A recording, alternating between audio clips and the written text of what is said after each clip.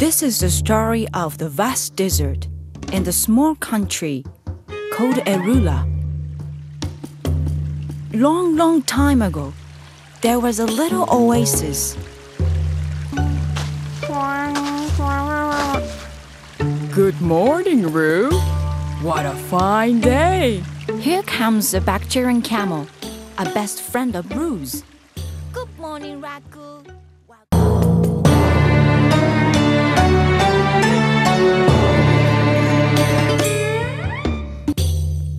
The weather has been fine for many days. But one day, Oh no! My oasis! The water!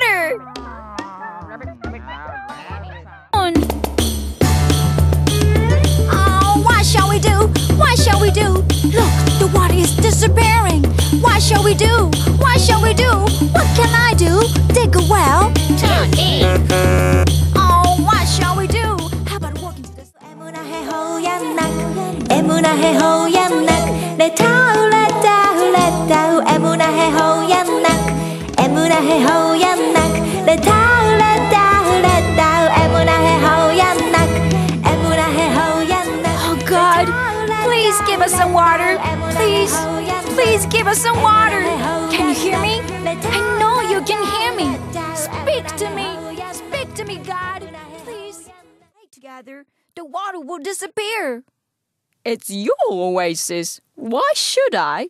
Do something. It's none of my business. But you drink this water and bathe every day in this oasis. When I said, pray to the heaven, you said that's a good idea. Wait, please. I need your help. Please. An oasis is something we couldn't be without. No. Roo, don't give up praying to the heaven. God will speak to us. Give it a try again. That's right. Let's do it one more time. Roo and Raku started to pray together to the heaven one Try it. You'll never know. Hey, Roo, I will help you. Let's do it. Leave me alone. It's over. My oasis will be gone. You don't have to stay with me. Why don't you go to the place where the other animals went, Raku? How about you? what are you going to do? only Roo? to pray to the heaven. Raku tried to cheer me up. But what have I done to him? Like me, that's why God turned his back on me.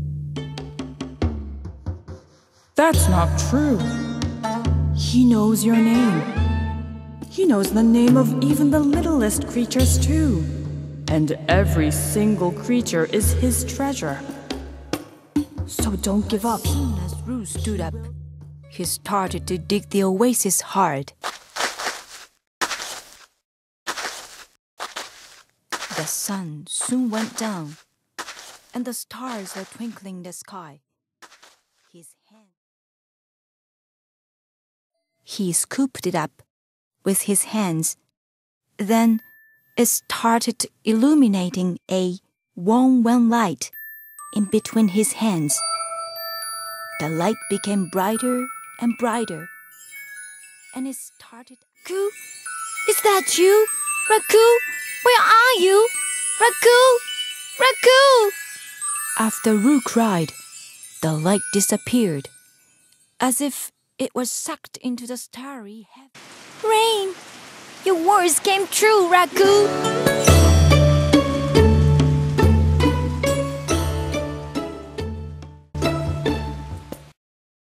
Wait, when we were on our way to this oasis, someone went to the south. Hey, where are you going? To find Raku! But do you know the way? I don't know.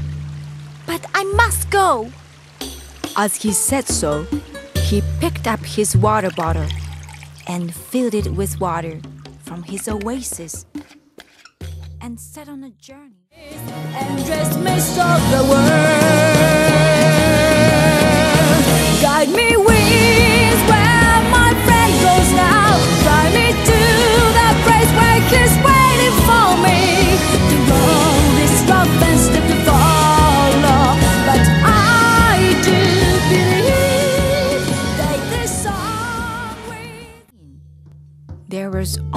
sip of water left in his water bottle.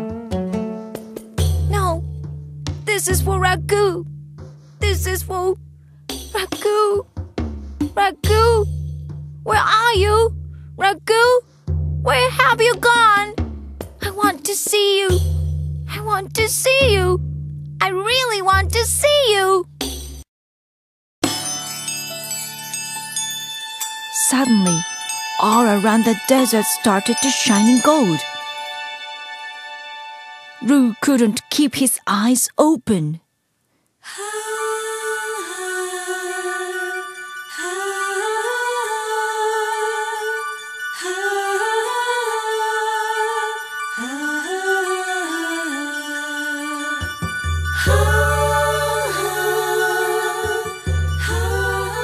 Slowly, Roo opened his eyes.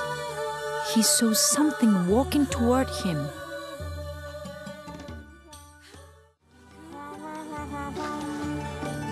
Raku, Raku,